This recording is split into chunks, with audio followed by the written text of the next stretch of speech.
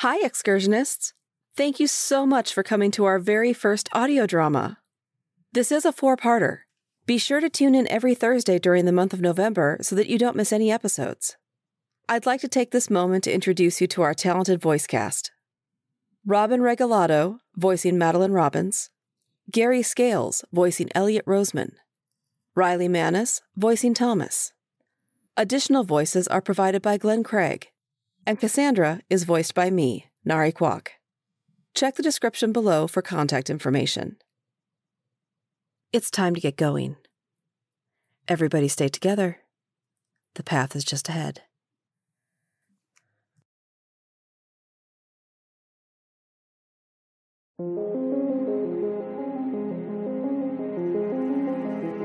Welcome to Into the Night. I'm Nari, your guide on today's excursion down a twisted path.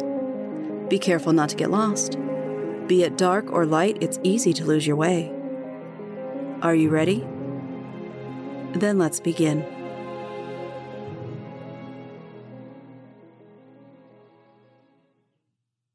Distant Relatives, Part 2. Making it through the next two days of work felt like forever. On the weekend, Cassandra obsessed over what to pack. Practically, her entire closet full of clothes was spread across her bedroom before she finally settled on the eight outfits she packed for a four day trip. Finally, Monday afternoon arrived. The flight into LaGuardia was short, and a limousine service met her as she exited the secure gate area. Hello, Miss Robbins. Mr. Roseman is eager to see you. The clean cut young man sent to pick her up at the airport took her luggage from her. Follow me. If you're hungry or thirsty, the limousine is equipped with food and beverages. The hotel where you will be staying has excellent restaurants as well. I'm going to meet the president of the company today. Yes, you will meet him, but that won't happen until tomorrow. Does he meet all of the people who do ads for him? No, only the special ones. I'm parked over there. He nodded his head toward a shiny black limo across the street. The only time I've been to New York was when Mom took my cousins and me here to see a Broadway play when I was 16. The ride took her through bustling streets and high rise buildings. When the limo driver stopped in front of the luxury hotel, even the facade took her breath away. The driver carried her bags and made certain she checked in before he left. I'll be here at 8 tomorrow morning to take you to our headquarters. Have a lovely evening. A lovely evening. How could she not have one? Cassandra gawked at the opulence around her. The hotel attendant escorted her to her room and dropped her bags off at the threshold. The room was exquisite. Real art, not cheap prints, hung on the wall. A balcony looked out over the sparkling skyline as darkness fell. Cassandra decided she liked how the wealthy lived. The refrigerator held her favorite snacks, and the bar came fully equipped. She made herself an amaretto sour, tossed in extra cherries, and sat on the balcony while she took in the view. Room service brought her dinner. Lost in the moment, time escaped her. When she checked her phone, she was surprised to see it was past midnight. She hated to miss a single second of this experience, but her eyes struggled to stay open. She slid under the silk sheets and lolled in the comfort of the king sized bed. The next thing she knew, her alarm rang, and she awoke to early morning rays of sunshine streaming into the room from the balcony. She couldn't remember having a sounder slumber, and exhilaration over the upcoming events of today swept over her as she threw back the comforter. By this evening, she would star in an ad shown nationwide on nearly every channel. This was a big deal.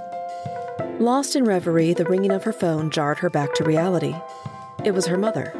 A pang of guilt shot through her. Suddenly, she felt as though she was committing a mortal sin by searching for her biological family.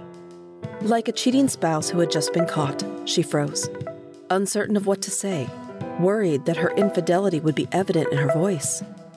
Fear and pain washed over her, and she almost didn't answer in time. Uh, hi, Mama. Good morning, Cassie. I hope I'm not calling too close to when you have to be at work.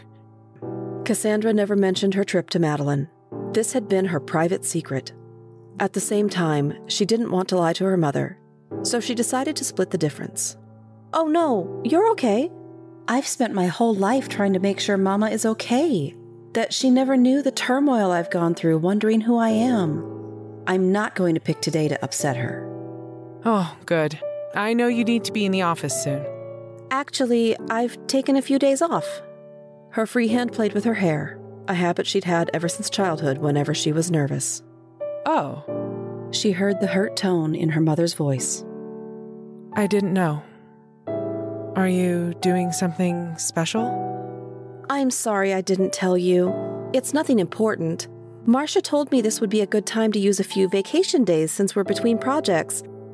I decided to come to New York City and just see the sights for a few days. Her mother paused. New York? Why New York? You usually don't do anything unless there's a reason. Is there a man? Cassandra blushed. Ever since high school, her mother had been too interested in her love life. No, Mom, I'm here alone. I just decided to do something spontaneous, that's all. It's just for a few days. I couldn't take enough time off to fly home. I'll do that in September like we'd already planned. She knew Madeline Robbins well enough to know her mother felt slighted. Oh. Good. Well, be safe, will you? I've heard on the news about the crime rate spiking there. Mom, I'm fine. I'm in a safe place. But I really need to get ready. For what? Cassandra's mind reeled. She'd boxed herself into a corner. She had to think of something quick. Oh, there's a tour at a museum I want to do this morning. The hotel clerk told me it's best to do the early one, or I might get caught in traffic and rack up extra charges in my taxi. Madeline seemed satisfied with that explanation. Give me a call later on, Cassie. And tell me all about your adventures. I will, Mama. Love you. She hung up and sat on the bed as she regained her composure. While she'd lived her whole life as a lie, she hated the feeling that she'd only delayed Madeline's heartbreak. Time was ticking, however, and she had to focus on the day ahead. She ordered room service, showered, and put on her favorite dress with just enough time to meet the driver in the lobby below.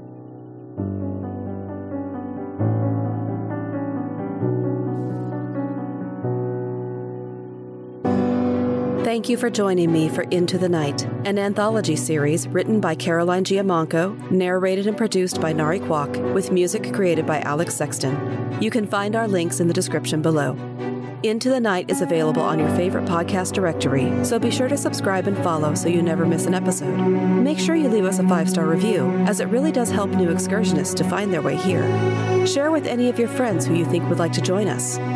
Also, stop by and say hi sometime. We're on Twitter at Into the Night Pod or by email at itnanthology at gmail.com. I'll see you next time. And remember, whether in the shadows or in the daylight, all twisted paths take you into the night.